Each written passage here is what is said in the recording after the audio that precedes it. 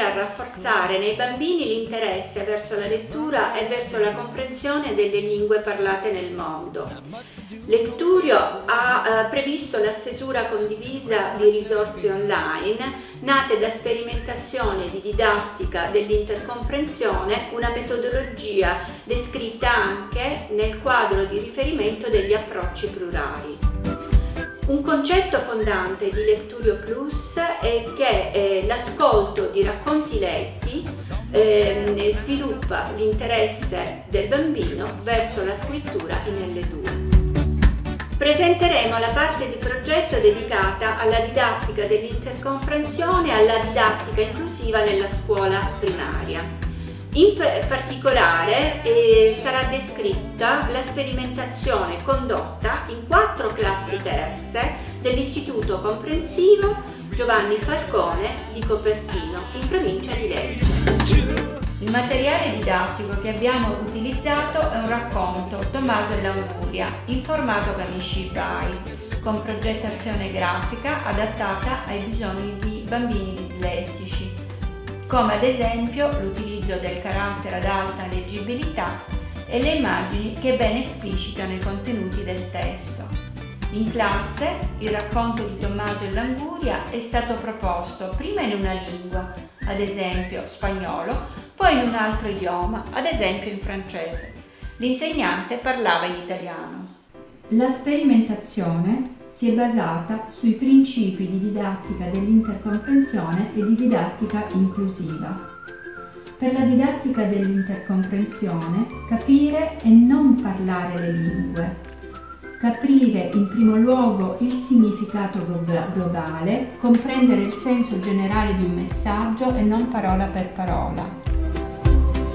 Stimolare le strategie e le conoscenze metacognitive, esempio ciò che so sull'attività che devo svolgere, stimolare le competenze enciclopediche, ciò che so sui contenuti.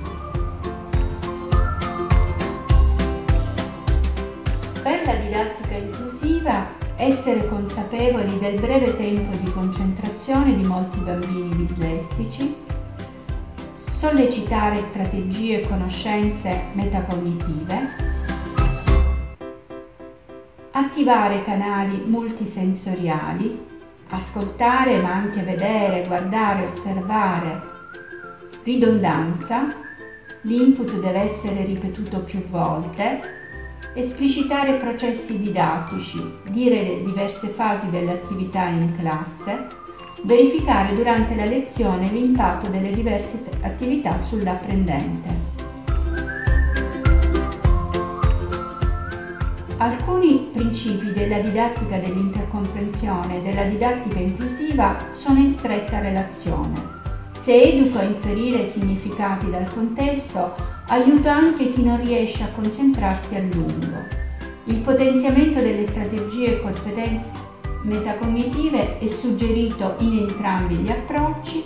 Per stimolare le conoscenze enciclopediche faccio uso di immagini, di oggetti che posso toccare. È forte la nostra convinzione che le strategie didattiche per l'inclusione servano a tutti e che l'apprendimento avviene in contesti affettivi partecipati. Per mettere a loro agio i bambini ci siamo seduti a terra in cerchio su un cuscino. Ho parlato loro con un tono di voce pacato e ho cercato di valorizzare ogni bambino, ascoltando le sue esperienze in merito ai quesiti posti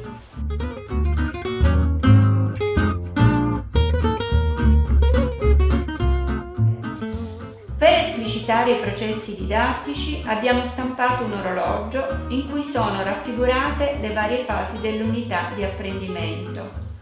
L'insegnante all'inizio della lezione ha condiviso con gli studenti lo schema facendogli leggere le fasi di realizzazione.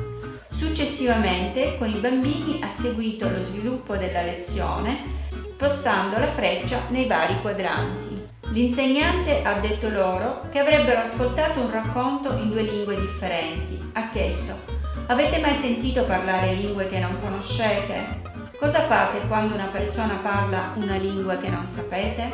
Cosa fate quando ascoltate un racconto in una lingua che studiate da poco? Dopo aver visionato il Kamishibai, abbiamo messo in evidenza le conoscenze enciclopediche guardando assieme le immagini. I bambini hanno risposto ai quesiti. Di cosa parla secondo voi il racconto? Quali parole potrete incontrare durante l'attività?